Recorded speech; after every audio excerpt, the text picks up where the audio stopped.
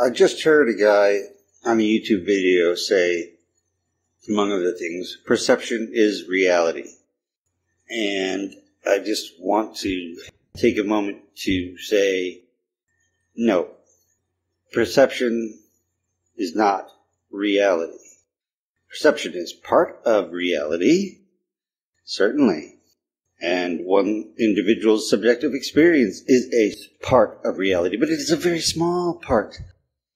It's ephemeral, and no one else can quite share that person's subjective experience. That subjective experience is important. A person has a right to think what they think. Well, they think what they think whether or not they have a right to it. It's just one of the things that is. But reality exists whether you perceive it or not, whether anyone perceives it. That's sort of a defining attribute of reality. So, no, perception is not reality. As counter to that, things that you don't perceive can kill you before you ever perceive them, before you ever perceive that you're dying. An abdominal aortic aneurysm that you're unaware of and doesn't cause you any symptoms can suddenly rupture and you die. And then you're gone. Your perception just ends without warning, caused by something in reality, and you have no more perceptions at all. Your universe, your subjective universe, has ended. Reality continues. This is one of the reasons perception is not reality. I also often tell people that uh, if perception is what determines reality, if your perception is what determines reality, then no one should ever be able to be assassinated by being shot from behind in the head with a high powered rifle or something along those lines. Because then you wouldn't be able to perceive something, and therefore what? It shouldn't kill you, should it? It shouldn't be able to kill you if you can't perceive it. But of course, we know that it does and the ghost dancers and the Boxer Rebellion and all that belief doesn't stop bullets. It doesn't stop lightning. It doesn't stop tsunamis. It doesn't stop asteroids. It doesn't stop supernovas. It doesn't stop the second law of thermodynamics, although it is driven by the second law of thermodynamics. So please, don't say stupid things like perception is reality. There's a bad instance of that concept in The Phantom Menace. It's one of the few parts of The Phantom Menace that really gets to me is when Qui Gon says to Anakin, Your focus determines your reality.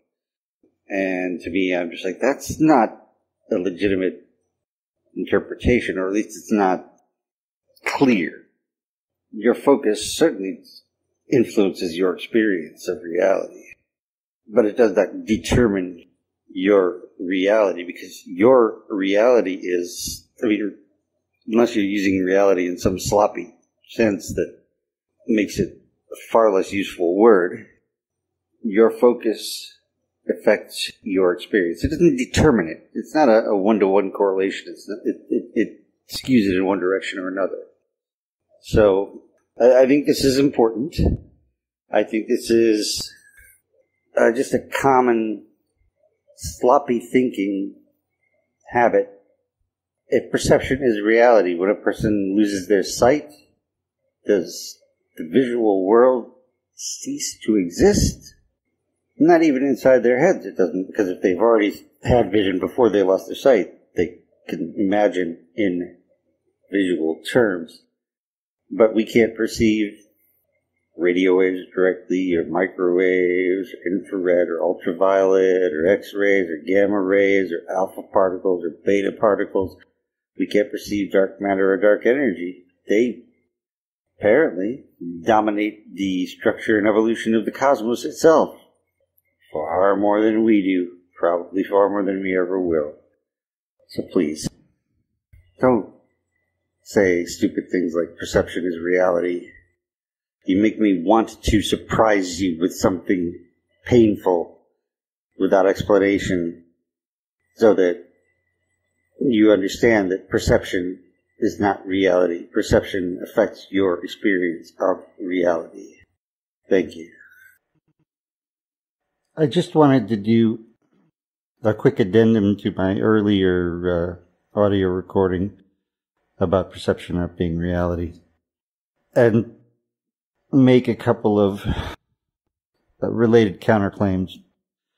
How do you account for schizophrenics and people who take hallucinogens and delirious people whose perceptions are muddled and muddied and distorted and not consistent with external reality?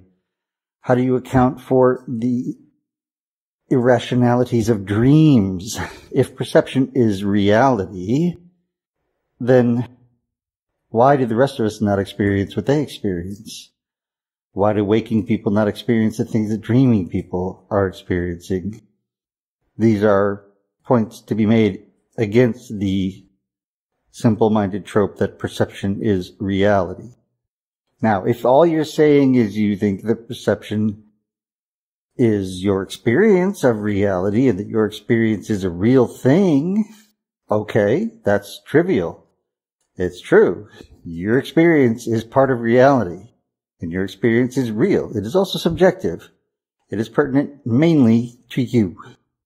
It has no effect on the motion of the earth in its revolution or its orbit or the sun's orbit around the center of the Milky Way or the expanding cosmos or the temperature from hour to hour, day to day, century to century, or whether or not you have a disease that you didn't know about that will someday kill you, but that doesn't give you any symptoms in the meantime. Perception is real, but it is only perception. It can be mistaken. There's countless examples of optical illusions and auditory illusions and cognitive biases demonstrate.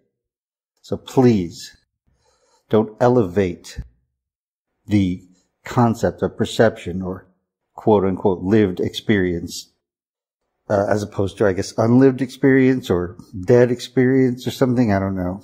Experience, experience. That's another pet peeve. Anyway, I just wanted to add those thoughts to what I said earlier. If you're quote unquote watching this on YouTube, please give it a thumbs up if you like it. Subscribe if you're inclined. Hit the bell. Share if you're so inclined. Make a comment if you're interested. I'd certainly welcome all those things. And thank you.